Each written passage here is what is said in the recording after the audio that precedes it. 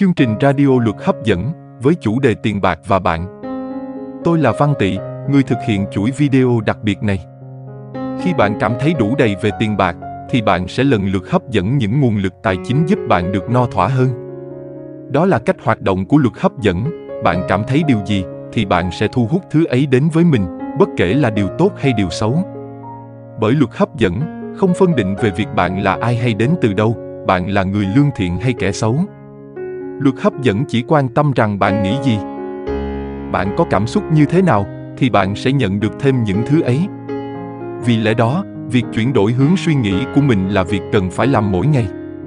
Theo thời gian, lối suy nghĩ mới sẽ trở thành một thói quen mới và thói quen mới sẽ định hình đời sống tài chính của bạn theo hướng khác đi. Bạn có quyền chọn lựa cho mình một cách sống mà bạn muốn.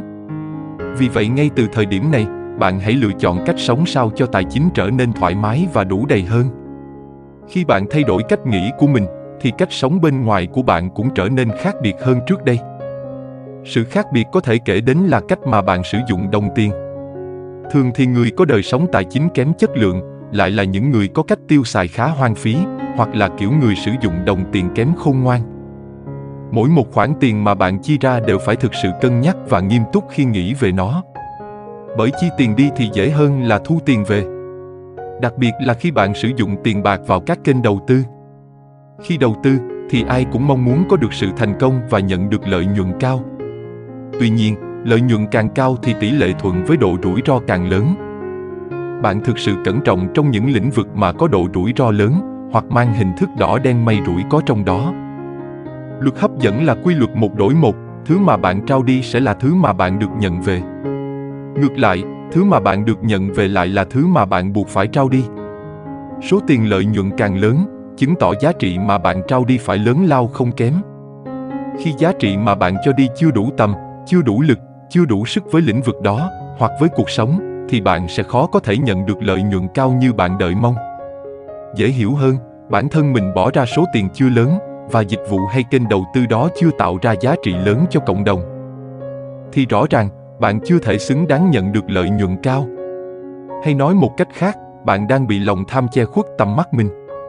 Bởi bạn chỉ có thể nhận được đồng tiền có giá trị bằng đúng với giá trị mà bạn ký gửi vào cuộc sống. Không có chuyện đầu tư một mà chiếm lợi nhuận đến 10. Khả năng lừa đảo hoặc độ may rủi là quá lớn. Bạn hãy thực sự khôn ngoan và có trách nhiệm với từng đồng tiền mà mình chi ra.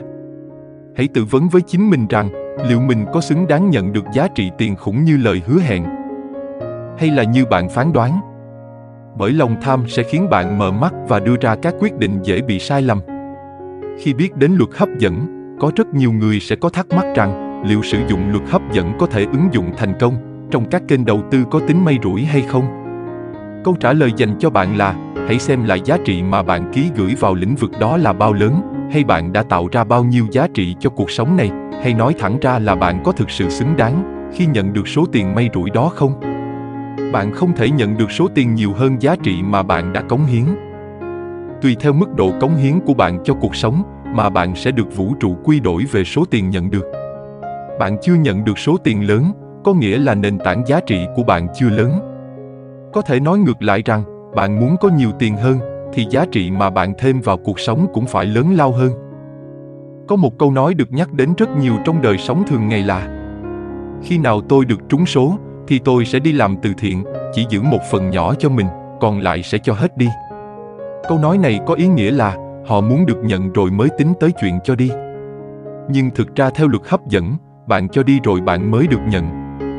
Bởi bạn không thể nhận miễn phí từ một thứ ở cuộc sống nếu như mình không có gì để quy đổi với vũ trụ này. Tuy nhiên, vẫn có một số trường hợp đặc biệt được xảy ra đó là một người may mắn. Khi được nhận những khoản tiền có giá trị rất lớn đến với họ, chẳng hạn như họ được thừa kế tài sản, họ được trúng số, họ bán bất động sản thu được lợi nhuận cao, họ trúng mánh cổ phiếu lớn. Trường hợp này, ta có thể xem là họ đã hấp dẫn thành công giá trị tiền bạc lớn đến với họ. Khi đó có hai khả năng xảy ra. Khả năng thứ nhất là họ đã cống hiến, đóng góp, trao đi rất nhiều giá trị vào cuộc sống đây là thời điểm họ xứng đáng nhận được khả năng thứ hai là họ được nhận trước và buộc phải trả sau khả năng thứ hai này Bạn rất dễ nhận thấy với nhiều người khi họ được trúng số với giá trị lớn, nhưng không bao lâu sau thì tài sản mất hết, thậm chí là mất luôn cả những thứ mà họ đang có. Điều này có thể lý giải rằng, khi họ được nhận trước, thì sau đó buộc họ phải đánh đổi mọi thứ của mình để trả lại cho cuộc sống. Đó cũng là cách vận hành của luật hấp dẫn, quy luật một đổi một rất công bằng và sòng phẳng. Từ các nhận định nêu trên, bạn hãy thực sự cân nhắc trước các lời mời kêu gọi góp vốn, đầu tư, tham gia dự án với những hứa hẹn vô cùng ngọt ngào. Hãy thực sự có trách nhiệm với đồng tiền của mình bạn nhé. Vì khi chi tiền thì rất dễ, còn khi thu tiền về thì không hề dễ như bạn tưởng. Khi bạn là người có trách nhiệm với tiền bạc của mình, thì dứt khoát tiền bạc sẽ quay về với bạn. Còn bạn hoang phí, tiêu xài bất hợp lý, thì tiền bạc sẽ rời xa bạn và chẳng còn gì bên bạn cả. Bạn có muốn thấu hiểu hơn về cách vận hành của luật hấp dẫn trong câu chuyện tiền bạc của mình?